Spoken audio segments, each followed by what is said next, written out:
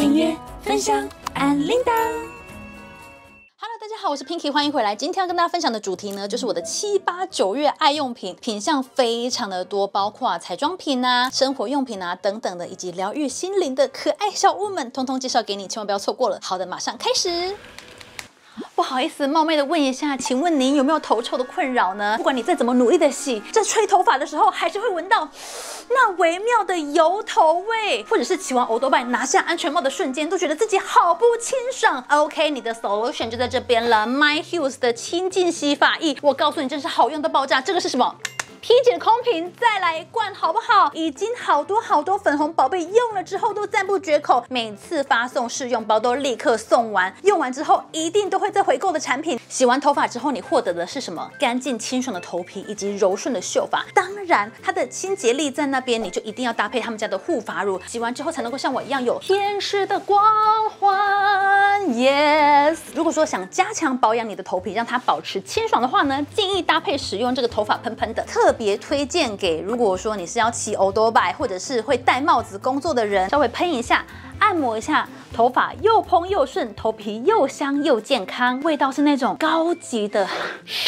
发沙龙味洗护系列，或者是说保养头皮的系列，我都超推。大家走过路过不要错过，现正开团特价中。首先要跟大家分享的就是 Armani 的唇釉叠加迪奥唇油的这个超美唇部 combo，我觉得啊，不管说是什么样肤色的人去使用都是完全 OK 的，因为这个十六号单擦在嘴巴上的妆效就已经足够美丽的。第一层上去呢，它是会有点薄薄透透的，但是因为它的颜色是那种玫瑰豆沙色，搭配一点点的棕色调在里面。适度的去遮盖你唇部的颜色，但是呢又能提气色，又不会过度的饱和，非常适合你日常叠擦，或者是说你想要在一些重要的场合大气一点的话呢，厚涂也是完全没问题的，超级漂亮。它收干之后会有点微微的雾面光泽，基本上有点像是液态口红的感觉，但是又不是那么的厚重，上唇的质感我非常喜欢。然后我觉得 Armani 在我这边最值得赞许的就是它的调色质地方面呢，我个人觉得长时间带妆它会有一点点的干，还有一点蛮优秀的就是跟它之前的系列比起来，这个并没有很强烈的香气在里面，我觉得完全 OK。因为我相信很多人跟我一样都是对气味蛮敏感的。再来这款唇油呢，它也是来头不小，因为它就是二零二三年 OL 评选出来最喜欢的唇部产品，上嘴呢会有点冰冰凉凉的感觉，但是不会到不舒服的程度。然后它的保湿力非常的持久，所以就有一点点互补了。刚刚我提到 Armani 唇釉那个小缺点，单擦呢它是本身就有一点点透透的粉红光泽在里面，所以它加上去这个唇釉之后，会显得更有层次感，但是又变得温和有光泽，整个妆效就是非常非常漂亮。那光是这两个颜色的叠加，你就可以选择说你要渐层的涂法，或者是日常叠加就可以了。基本上用起来是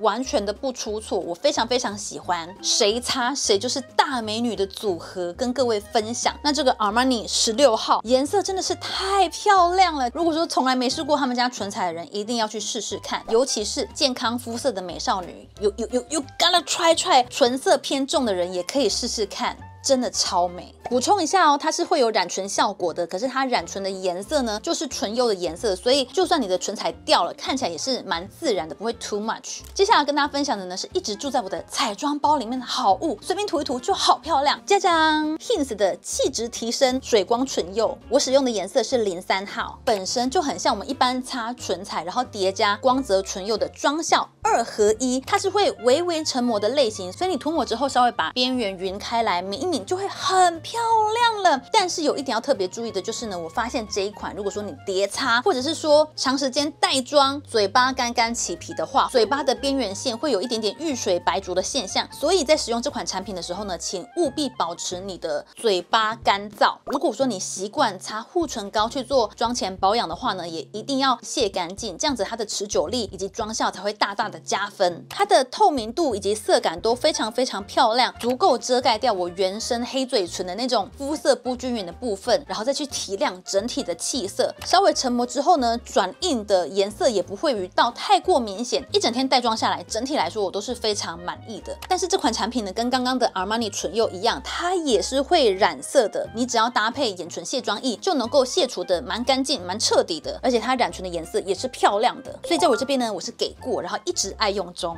加酱，接下来要跟大家分享的就是我之前已经迫不及待跟大家分享的 Pink Bear 糖光口红这款产品呢，基本上就是唇釉，然后变成口红的形态，所以非常的方便使用。那我个人认为，其实它在我这边评价最高的，就是因为它的妆效、保湿度以及方便程度。因为毕竟是唇釉嘛，它是一体的，在控制上还是没有口红那么的顺手。但是呢，它能够做到膏体是可以。转上转下的那一种，这样子的设计就是有好有坏。好是好在呢，我刚刚提到的方便；不好是如果你不小心转太多的话，它就会断掉。所以当初一开始收到的时候，它的产品就有说明，如果说你住的地方比较热，或者是说在运送的过程中担心品质受影响的话，要先放在冰箱里面冰一下，再拿出来做使用。那基本上呢，我并没有放冰箱，从夏天用到现在都是完全没问题的。那我会这么喜欢它，最主要的原因就是在于它的持久度，而且它不管是怎么补。妆哦，妆效都还是非常的均匀漂亮，带有一点点的透明感，但是呢，它的颜色又足够把我原生的黑嘴唇遮掉，提气色，带有光泽感之余，成膜之后呢，转印出来的是透明的那层唇釉，而不是唇色，所以长时间带妆非常非常的漂亮。重复叠擦呢，也不会让你的妆看起来太浓，这点我觉得也很加分。整体来说呢，就是没有什么太大的缺点。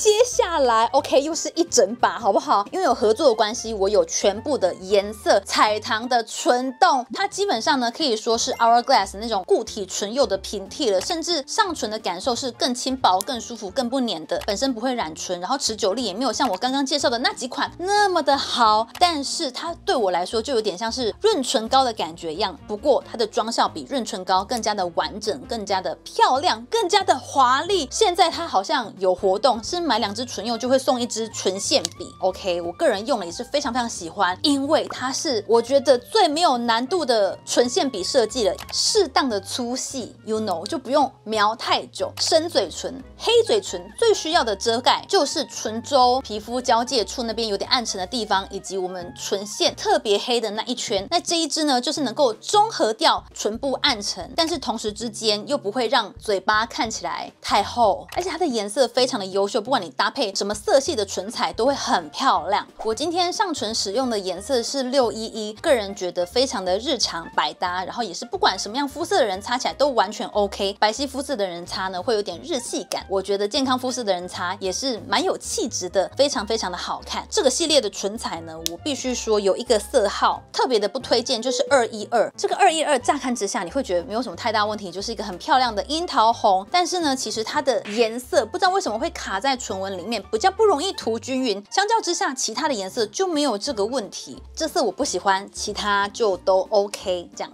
卸妆呢也非常好卸除。接下来跟大家分享的也是彩棠家的产品。I'm sorry，这个真的不是夜配，但我真的好喜欢他们家的腮红膏，因为呢它是一个二合一的组合，一边是颜色比较饱和的腮红霜，另外一边呢就是水光冻。可是呢我推荐的这两个色号，它的腮红冻本身的色调就比较重一些些，所以你就算是单擦也很漂亮。尤其是健康肤色的人，Oh my gosh，米娜桑走过路过不要错过。那我们就先从我最喜欢的。这个九十 S 开始聊，它是有一点点带有杏桃以及水蜜桃哈密瓜感的一个颜色。光擦这个颜色呢，其实就是有一点点的日系百搭。那如果说你再搭配这个颜色有点亮的水光冻的话呢，它就是能够更提出那种血色感、元气感，并且它的水光冻的光泽感非常非常的持久。我自己个人在使用的时候呢，其实大部分时间日常妆嘛，只会单擦这个水光冻就足够了。它的显色度以及它的质感。都恰到好处，而且是看不出粉感的，这点呢我给予高度的评价。那除了九十 S 之外呢，八零 S 我也是非常非常喜欢。你单看它会觉得它的颜色搭配有一点点的突兀，这个玫瑰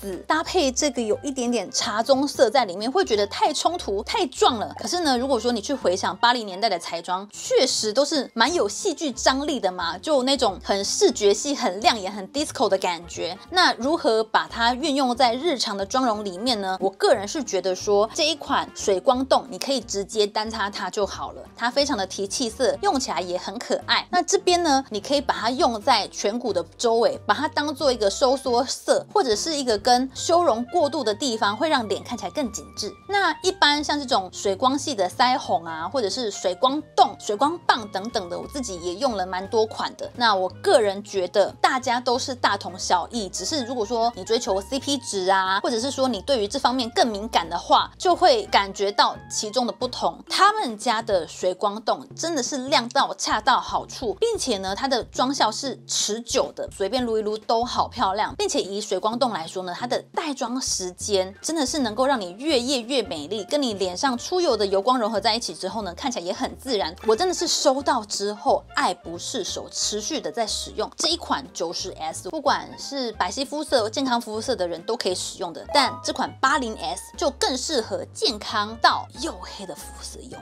都没问题。OK，刚刚提到要让脸变小，我们怎么能够不提到这个砰砰小脸双色假彩盘，好不好？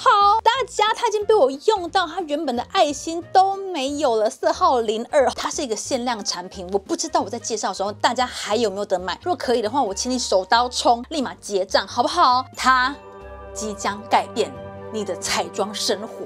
OK，你的泪沟即将从你的人生里面 disappear。它呢也是两个颜色的搭配，一边比较深的颜色适合做假彩，另外一边比较浅的颜色，你可以把它理解成眼下提亮啊，或者是说膨胀色。那一般呢，大家都会把它用在眼下三角或者是泪沟的地方嘛。这个刷子呢，老师在设计的时候是故意让它做的稍稍有一些些硬度在里面的，所以你就可以直接这样子去沾取，然后针对泪沟按压做填补的动作。粉质的细致度、颜色的厚度，我觉得对于遮盖眼下的黑眼圈去做适度的提亮啊，是完美的。而且它竟然用刷子就可以做到，我觉得非常厉害。请你一定要在你的脸部是干净清爽的状态下去做使用。就像我之前去韩国化妆室给彩妆师化妆的时候，老师们都会拿粉底液，最后把我们的妆容稍微整理一下嘛，让它看起来更干净、更漂亮。其实你也可以用这个逻辑去看这盘彩妆盘，你可以用这个浅色的部分去稍微整理一下你的眼下，或者你想要提亮的地方。其实我今天的中心提亮跟我的眼下也都是用它，看起来超级超级自然。那有一点我也想跟大家分享，如果说你的肤色是中间肤色或是偏健康肤色的人，你如果再去用比较偏米白色的提亮粉的话，它反而会让你的眼下的肌肤看起来很突兀，之外，更可能会把你原本遮好的那些泪沟、黑眼圈，反而更加的凸显。健康肤色的人呢，其实更适合去使用带有点粉色调在里面的提亮色，去修饰自己的轮廓，看起来呢才会更加的自然，并且呢，这个颜色它是可以跟你的腮红去做过渡的，整体提亮之余，看起来也更加的自然漂亮。如果说你在遮瑕完之后，一直找不到一盘能够好上手、适度提亮自己脸庞的万用产品的话，它是你非常非常棒的选择。这盘当初在推出的时候呢，它就是号称比较不挑肤色，大家可以无脑入。现在零三号，据我所知已经 sold out 了嘛，零二号。赶快加入购物车！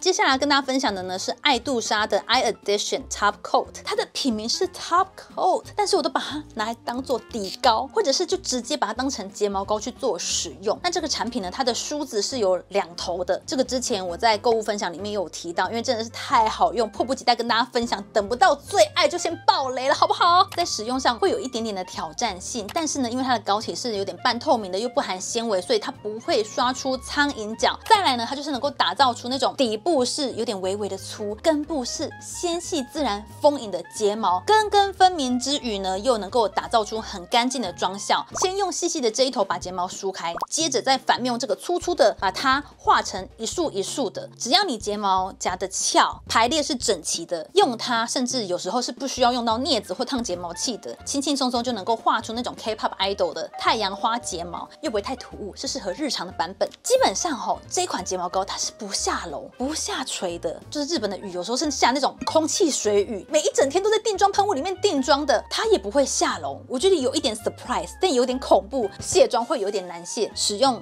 眼唇卸妆液稍微敷一下再带走，或者是说你可以先搭配那种 Kiss Me 一支的直接卸，Oh Beauty 也好用。难卸除这一点，我觉得就是它的一体两面，因为它很持久嘛，所以就是难卸。在卸妆的时候，请务必花点时间给自己，好好保养自己睫毛，不要硬扯，好不好？不允许硬把睫毛扯掉这件事情。接下来呢，要跟大家分享的就是家家这件外套，我觉得它超级爆炸可爱，而且穿起来也好舒服。自从购入它了之后呢，我每天都在穿它，然后询问度也很高。这个牌子呢叫做 Sea Room Lin，品牌的概念就是想要呈现送给一些喜欢海洋的女孩们去做穿着，which 就是我，yes。他们的风格，我个人的解读就是在日系品牌里面比较偏美式休闲，然后带有一点优雅，特别有。个性的感觉，整体来说是非常精致的。最让我喜欢的就是料子好舒服。其实我自己也买很多牛仔外套，然后牛仔的单品，可是从来没有那么一件像它。